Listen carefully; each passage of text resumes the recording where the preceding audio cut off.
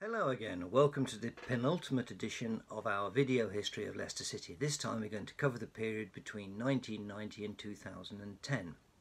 The 1990s were a very eventful decade. It started with them just avoiding relegation to the third tier. It went on to have four Wembley playoff finals for a place in the Premier League, two promotions to the Premier League, three League Cup finals, two League Cup wins, two qualifications for Europe. The next decade, up until 2010, saw the club relegated from the Premier League, going into administration, promoted back to the Premier League, relegated again, relegated to League One, promoted from League One, and the decade finished with them in the Championship in the playoff semi finals for a place back in the Premier League.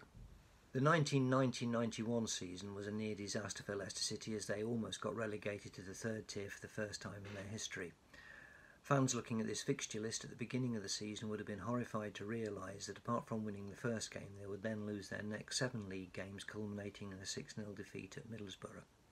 The sacking of David Pleat seemed pretty inevitable, and he was sacked in January 91, and Terry Shipman resigned as chairman of the board. First team coach Gordon Lee became manager, initially on a caretaker basis. Club captain Ally Mauchlen became player coach. Martin George, pictured here, became chairman.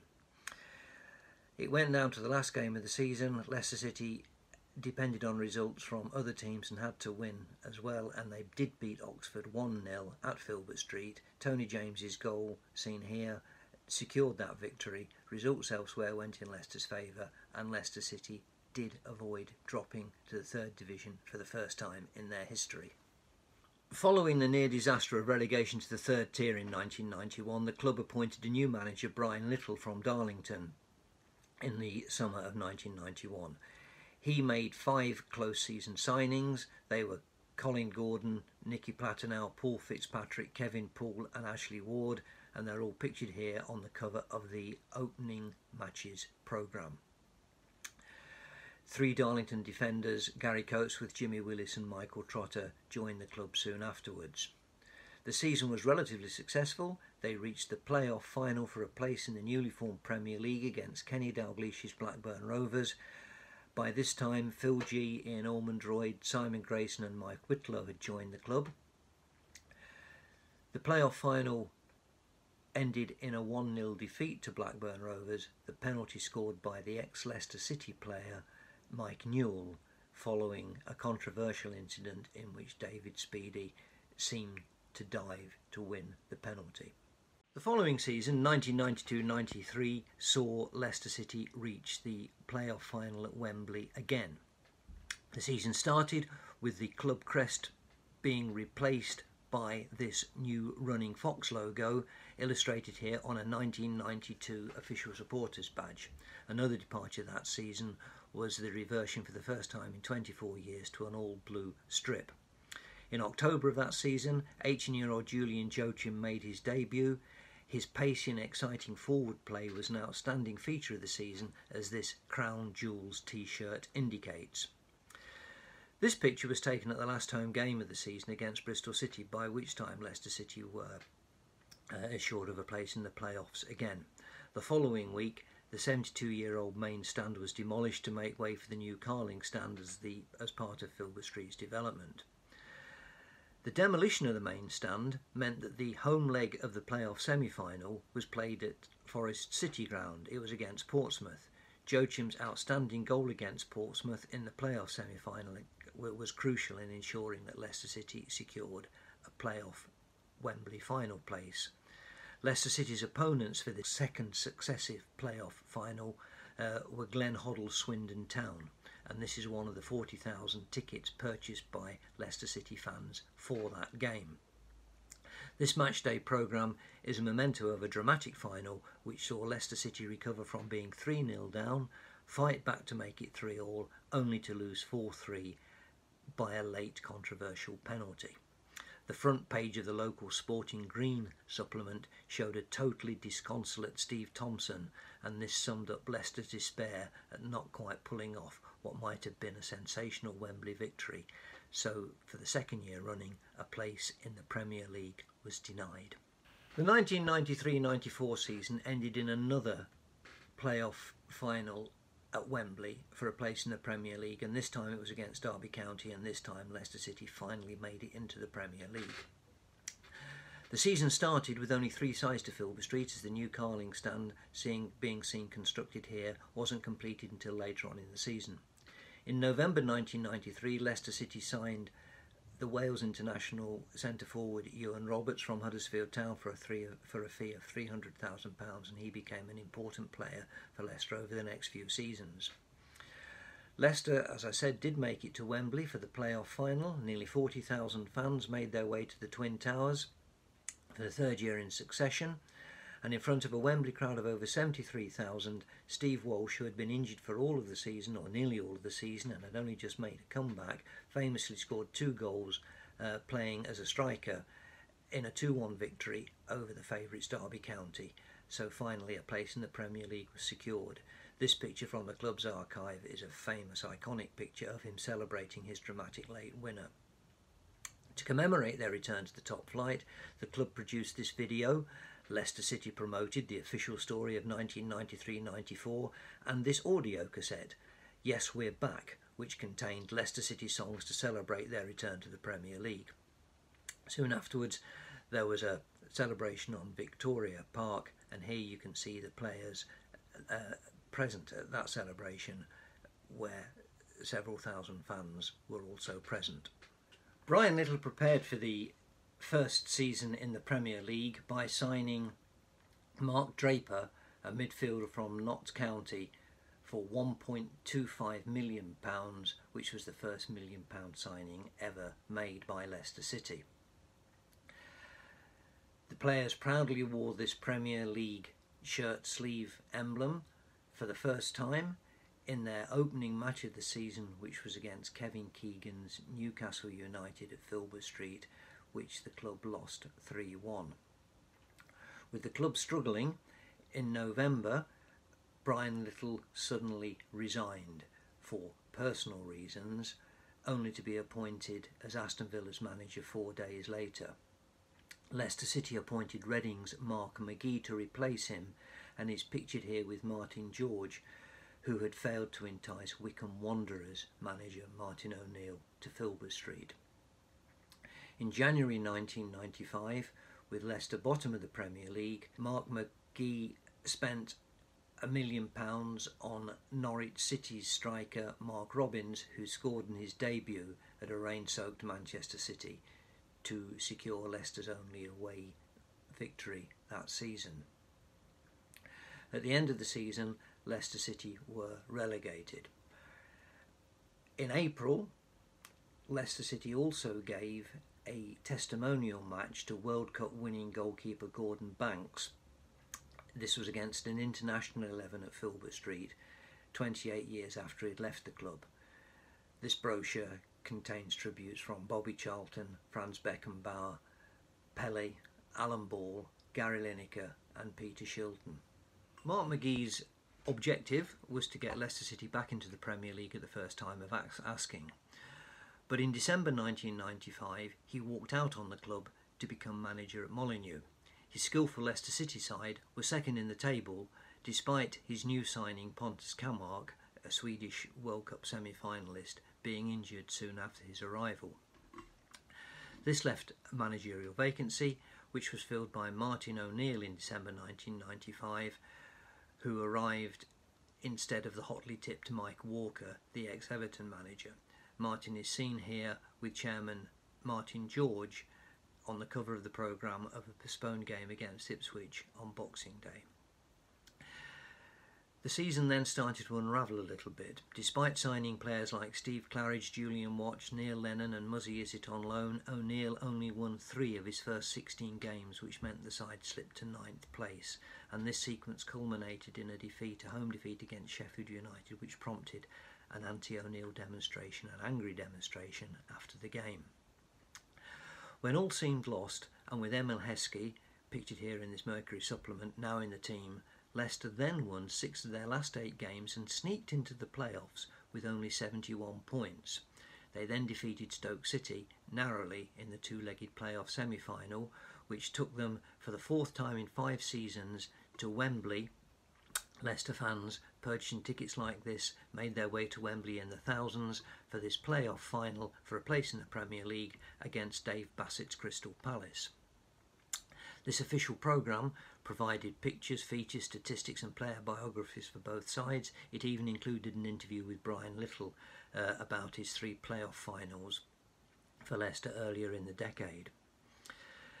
Leicester won this game in dramatic fashion, and this picture captures one of the most dramatic moments in the club's history. A disbelieving Steve Claridge has just scored the winning goal four seconds from the end of extra time, with Zeljko Kalac, the reserve goalkeeper, having just arrived on the pitch to replace Kevin Poole for the anticipated penalty shootout. So, there, here we have a triumphant Martin O'Neill holding the playoff trophy aloft shortly for the fans at Wembley and back in Leicester, fans were once again out in force to welcome the team on their open top bus tour. The Premier League awaited, and a really good era for the club was about to start. As part of his preparations for the coming season, Martin O'Neill signed Muzzy Izzet from Chelsea for £650,000. Muzzy, as a loan player, had been a vital part of the side which had won promotion the previous season. Leicester City, though, were bookies' favourites for relegation. This publicity shot of Steve Walsh and Simon Grayson modelling the new kit presaged a season in which Leicester did far better than expected, as the club spent much of the season in mid table and in fact finished ninth. They also won the League Cup that season, having defeated Premier League opponents Manchester United and Wimbledon on their way to the first League Cup final since 1965 Leicester City fans made their fifth trip in six years uh, to Wembley for the final against a Middlesbrough side captained by future Leicester City manager Nigel Pearson. Following a one-all draw against Middlesbrough at Wembley, Steve Claridge scored the winner in extra time in the replay at Hillsborough 10 days later. The club's official newspaper Goalpost devoted a complete issue to this achievement. The following season, Leicester, because they were League Cup winners, qualified to play in the UEFA Cup, and in September they were drawn against Atletico Madrid. Despite losing 4 1 in aggregate, Leicester City acquitted themselves well. The referee didn't help. Uh, his performance at Filbert Street was so bad that he was dropped from the UEFA list. Atletico Madrid presented the club with this horse's head as a memento of their UEFA Cup tie against Leicester City. Despite the defeat against Atletico Madrid, Leicester City were third in the Premier League table at the end of September. As a result, Martin O'Neill was presented with the Carling Premiership Manager of the Month award, like this one, which is now in the club's collection. In October 1997, Leicester City became a PLC on the alternative investment market on the stock exchange. This press picture records the event Initially, the club was valued at £36 million and shares were worth 110p. The value soon dropped though, and the enterprise ended in disaster five years later when the shares were actually worthless. In May 1998, by the end of the season, with the club finishing 10th in the Premier League, the decision was made to move to a new 40,000 seater stadium at Bede Island South, which the site was on the other side of the canal from where King Power Stadium now is. In the 1998 99 season, with Leicester City now PLC, a new boardroom reconstruction took place, which Martin O'Neill was less than happy with. In October 1998, thousands of these Don't Go Martin posters were held aloft during a home victory against Tottenham Hotspur in a successful attempt by the fans to persuade Martin O'Neill not to be tempted by Leeds United's determination to make him their new manager. In February 1999, Tony Cottee scored all three goals in Leicester's 3 2 aggregate victory over Sunderland in the two legged League Cup semi final. This secured City's second Wembley League Cup final in three years, this time against Tottenham Hotspur. At the Sunderland home leg, it was announced that the City Council had given planning permission for the new stadium at Bede Island. although this was never actually built. A pre Wembley sensation prior to the League Cup final was Martin O'Neill dropping Frank Sinclair for the final for being late for a team talk. Spurs beat Leicester with a goal scored seconds from the end. Robbie Savage was involved in controversy when Spurs player Justin Edinburgh was sent off. In a season which saw Emile Heskey win his first England cap, Leicester City finished in 10th place in the Premier League. Steve Guppy, pictured here, was the only Premier League player in the country that season to play every minute of every match. The following season, 1999 to 2000, was Martin O'Neill's last at Leicester. This Daily Mirror article refers to the long running boardroom split, which resulted in an extraordinary general meeting of shareholders at Donington Park, which resolved the boardroom split with the Gang of Four, so called, who were opposed to those directors backed by Martin O'Neill either resigning or being voted off the board. In January, following month, just days ahead of the public inquiry into the plans for the proposed new 40,000 seater at Bede Island, the new board pulled out of the project because they weren't satisfied with the developers' assurances over several issues. In February, in their third League Cup final in four years, Leicester City beat Championship side Tranmere Rovers 2 1 both goals were scored by skipper Matt Elliott, who also scored the only goal in the two legged semi final against Aston Villa the previous month. In June 2000, after days of agonising, Martin O'Neill finally left Leicester City to become manager of Glasgow Celtic and he took John Robertson and Steve Walford, his assistant manager and coach, with him. Two senior players, Steve Walsh and Tony Cottee, jointly applied for the manager's post, but despite interest from people like Sam Allardyce, Joe Kinnear, Steve Bruce, David Moyes, Gillingham's Peter Taylor was appointed as O'Neill's replacement. In September, Leicester drew 1 all at Filbert Street in the UEFA Cup tie against Red Star Belgrade. They'd qualified as League Cup winners. In the return game, which Leicester lost 3 1, that had to be played in Vienna rather than in Belgrade due to the Yugoslavian war. This desk set uh, was one of the gifts to the club from Red Star Belgrade. In October, the following month, Leicester City went to the top of the Premier League, um, having accrued 16 points from eight games.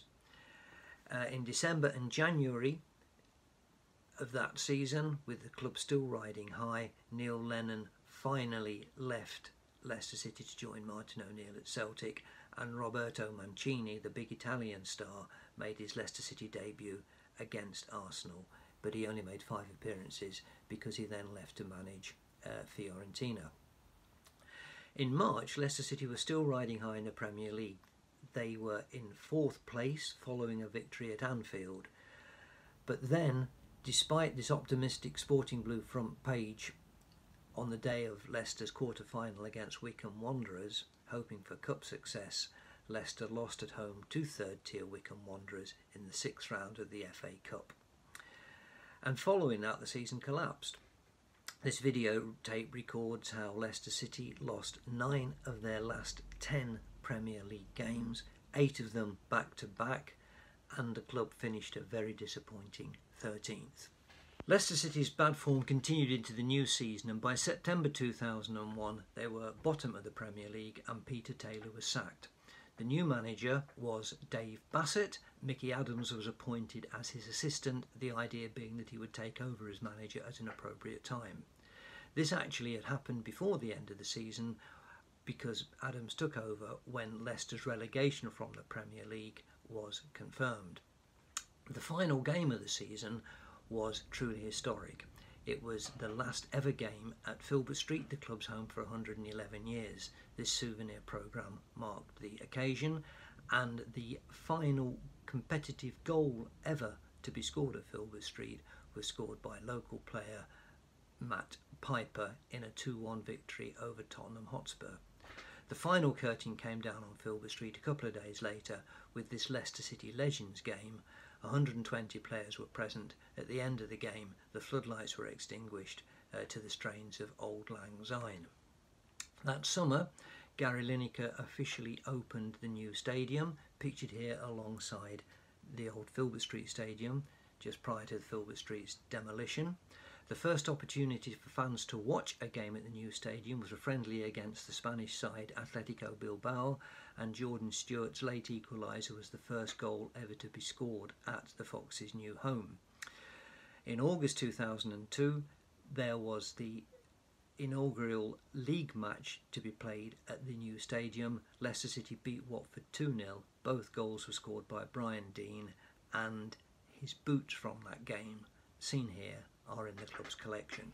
Back in the Championship at their new stadium, Leicester City's attempts to get back into the Premier League started off well, and from September onwards, they were never out of the top two in the table.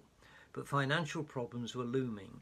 In October, the club, with £50 million in debt, went into administration after a week of desperate moves trying to prevent it. 26 staff were made redundant. The club was offered for sale. There were three bids uh, to buy the club, including one from a consortium headed by Gary Lineker, which needed £5 million to achieve this purpose. They were supported by the newly established Foxes Trust and by Emile Heskey. In February 2003, with Leicester still going for promotion, Leicester came out of administration after the Lineker consortium bought the club for £5 million. Also that month, Fans voted overwhelmingly against an idea to revert to the old club's name of Leicester Fosse. Uh, they showed their disagreement by holding up one of these cards C for City rather than an F for Fosse card, and the name Leicester City was maintained. In April 2003, promotion was finally secured following a 2 0 Easter Saturday victory over Brighton and Hove Albion. And here we see the players celebrating on the pitch after the game. They were promoted back at the end of the season in second place, 12 points ahead of third place Sheffield United. In future, teams who had been into administration were to be docked 10 points. Leicester celebrated this promotion by an open up top bus tour uh, through the city and they were back in the Premier League. But that return to the Premier League only lasted one season, and at the end of the following season, in May 2004, they played their last Premier League game for 10 years when they went to Highbury against unbeaten champions Arsenal, the Invincibles, and they were relegated. They lost that game and they were relegated along with Leeds United and Wolverhampton Wanderers. Despite that, home crowds for the season averaged about 31,000. The next few seasons were pretty grim ones for Leicester City, really. In October 2004, after a disappointing start to the Championship season, Mickey Adams resigned and he was replaced on an interim basis by Dave Bassett, who was helped by Howard uh, Wilkinson. And then, that, and this was until the Hearts manager Craig Levein was appointed, and Rob Kelly became his assistant. Financial pressures were still severe. In an attempt to alleviate these financial pressures, a plan was agreed for Leicester Tigers to take joint ownership of the Walker Stadium with the football club, but the deal fell through because the Rugby um, Football Union and the Football League couldn't agree on the issue of primacy of fixtures. 2005 2006 was also pretty grim despite a famous FA Vic, uh, Cup victory over the Spurs, Craig Levein, seen here saying goodbye to the players, was sacked and replaced by Rob Kelly. This followed a run of eight defeats and two draws, which put Leicester City in 22nd place in the Championship. With Rob Kelly at the helm, results improved to such an extent that Leicester did finish 16th, safe with four games to spare. Uh, the highlight of this run was um, Joey Gudjonsson's goal from the halfway line against Peter Taylor's Hull City. In 2006 2007, Leicester City passed for the first time in its long history into the ownership of one person. Milan Mandaric, the millionaire ex chairman of Portsmouth, bought the club, and here he can be seen being introduced to the crowd before a home game against Coventry in February 2007. The club continued to struggle, and by the end of the season, Rob Kelly had been sacked by Mandaric and Nigel Worthington, as an interim manager, had taken over for the final five games of the season, and Leicester very narrowly avoided relegation. The following year, though, 2007 2008, was the worst in the club's history. It started with the appointment of the colourful MK Dons manager Martin Allen. He signed a three year contract. Mandaric described him as unquestionably the outstanding candidate, but after only four league games and a League Cup game, uh, he was he left the club by mutual consent. His replacement was Gary Megson. He lasted six weeks before he left to manage Bolton Wanderers, and then he in turn, in November 2007, was replaced by Plymouth Argyle manager Ian Holloway. A large turnover of staff ensued, the team was rarely out of the bottom four. Over 40 players were used in the first team that season. The club was a bit of a shambles, and at the end of the season, a home defeat against Sheffield Wednesday in front of a crowd of nearly 32,000 effectively sealed Leicester City's fate of dropping into League One for the first time in the club's history. A nil-nil draw at Stoke in the final match confirmed relegation and for the first time in the club's history, as I said, Leicester City were in the third tier of English football. The journey back from the disaster of being relegated to League One started in June 2008 with the appointment as manager of Nigel Pearson. He set about rebuilding the side by bringing in such players as Michael Morrison, Lloyd Dyer, Alexander Tunchev, Jack Hobbs, and also by bringing Max Gradel back from Bournemouth where he'd been on loan. The side went to the top of the table in November and stayed there for the rest of the season following a run of 23 undefeated league games. They were strengthened during the season by loan signings of Mark Davis and Tom Cleverley, and they finally clinched promotion at Southend United. And here you can see the players celebrating that promotion, winning the League One title. The team was presented with the League One trophy after the final home game of the season against Scunthorpe United, and a brighter future definitely beckoned. Preparing for the first season back in the Championship, Nigel Pearson signed Chris Weale, Richie Wellens, and then Martyn Waghorn on loan to strengthen the squad. Paul Gallagher, pictured here, was signed in September as well. In November, with Leicester City second in the table, the club celebrated the 125th anniversary of its founding. And by May, by the end of the season, Leicester City had finished a creditable fifth, qualifying for the playoffs, which was good its first season back in the Championship. Cardiff City beat them 1 0 in the first leg in Leicester, but Leicester won the return leg in Cardiff 3 2 after extra time, but then lost in a penalty shootout. Uh, made infamous by Yann Kermorgant's bizarre penalty miss for Leicester City. But despite this disappointment, Leicester were definitely on the way back. Next time, we'll conclude the story We'll see how Leicester City won the Championship title in 2014, the Premier League title in 2016, reached the Champions League in the quarterfinals in 2017, and have since then become an established force in the land. Until then, take care. Bye bye.